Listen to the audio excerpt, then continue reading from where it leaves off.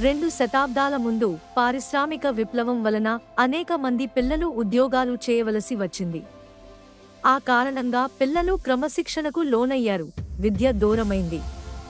వీధుల్లో ఉన్నటువంటి పిల్లలు ఆ రోజుల్లో మంచి పనులు చేసేవారు కాదు. చాలా సమస్యలను పిల్లలు ఎదుర్కొన్నారు. పిల్లలకు క్రమశిక్షణ విద్య నేర్పించడానికి సంఘ అభివృద్ధి కోసం సండే స్కూల్ ప్రారంభించడం జరిగినది. అనేక మంది పిల్లలు దీని వైపు ఆసక్తి చూపారు. పిల్లలలో మార్పు మొదలైంది. విద్య పట్ల ఆకర్షితులయ్యారు. సండే స్కూలు అన్ని ప్రదేశాలకు విస్తరించింది. ప్రస్తుతం ప్రపంచం అంతటా సండే స్కూల్ అభివృద్ధి జరుగుతున్నది. విశ్వాసములో పోషించుట సామెతలు ఇరవై మూడు. పదిహేను ఇరవై ఆరు బైబిల్ వలన పిల్లలలో మరియు మనలో విశ్వాసాన్ని అభివృద్ధి చేస్తుంది. నా కుమారుడా నీ హృదయమునకు జ్ఞానము లభించిన ఎడల నా హృదయము కూడా సంతోషించును.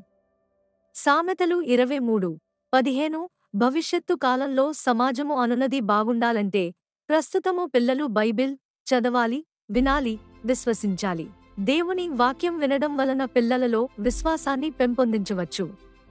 అది వారి భవిష్యత్తుకు సరైనటువంటి దిశలో వారిని తీసుకువెళ్తుంది. సండే స్కూల్ వలన పిల్లలలో మెరుగైనటువంటి ఉత్తేజము వాక్యం పట్ల ఆసక్తి జీవితం పట్ల సరైనటువంటి ప్రణాళిక వారికి ఏర్పడుతుంది. విని జ్ఞానము తెచ్చుకునుము సామెతలు ఇరవై మూడు పంతొమ్మిది. పిల్లల మనస్సు గుర్తించుట మత్తయి పద్దెనిమిది. ఒకటి ఆరు పిల్లల మనస్సును యేసు ప్రేమించాడు. పిల్లల మనస్సు పోలి ప్రతి ఒక్కరూ ఉండాలని యేసు సెలవిస్తున్నారు. పిల్లల తగ్గింపు మనస్తత్వము అందరిలో ఉండాలని యేసు చెప్తున్నాడు. చిన్న పిల్లలను చేర్చుకునివాడు యేసును చేర్చుకున్నట్లే అని మనకు ఈ వాక్యము తెలియజేస్తుంది. పిల్లలను మనం పెంచే విధానమును బట్టి వారి యొక్క జీవనశైలి ఉంటుంది.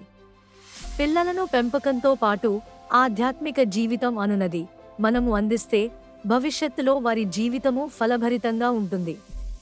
ప్రస్తుతము పిల్లలు మానసికంగా శారీరకంగా గృహాలలో సమాజంలో హింసలకు గురికాకుండా దేవుడు వారికి తోడై నడిపించునుగాక.